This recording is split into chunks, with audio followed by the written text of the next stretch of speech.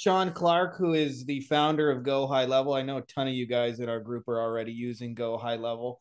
Um, for those of you guys who don't and have been living under a rock, um, Go High Level. I think the best description I've ever given of it. It's it's a little hard to wrap your head around because it's kind of like Lego in that you can build anything you want with it, but it's it's pretty much the coolest automation tool for agency owners. I don't know anything you want to add about like how you would just No, that's great. Absolutely. And Like you said, it's a lot of different things to a lot of different people and that is what we love about it, right? And it's really through it's kind of how you see it. So I, I love your description. That's fantastic. Yeah.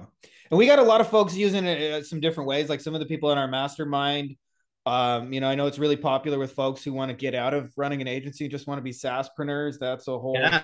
angle. We've got people who are using it to, to kind of like really streamline their onboarding experiences.